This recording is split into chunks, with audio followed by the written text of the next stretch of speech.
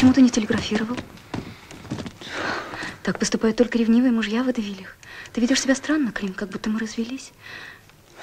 Такое безумное время, а я одна. О, как у тебя посидели виски. Это не помолодело. Я не одета. Ну что, ты все видел?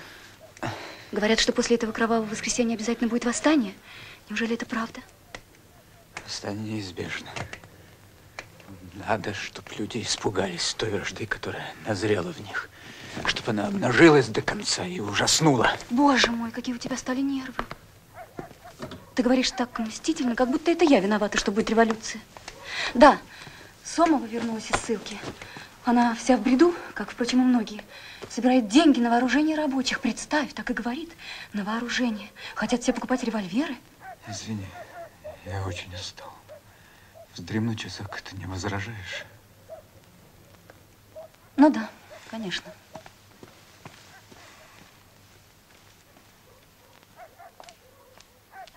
Да. Ты знаешь, тут Суслов заходил.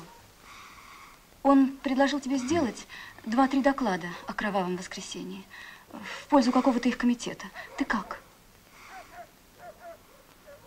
Я подумаю. Тогда, может, ты мне не откажешь? Будь так любезен. Сегодня вечером соберутся интереснейшие люди. Они жаждут тебя услышать. Клим.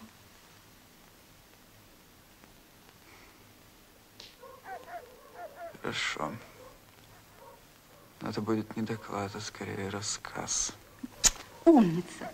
Я почти уверена, Всех приятелей я буду жены он привык считать людьми третьего сорта и знал, что они наверняка окажутся заурядными болтунами.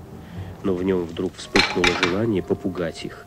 Клим подумал, что он это сделает, пожалуй, даже с наслаждением.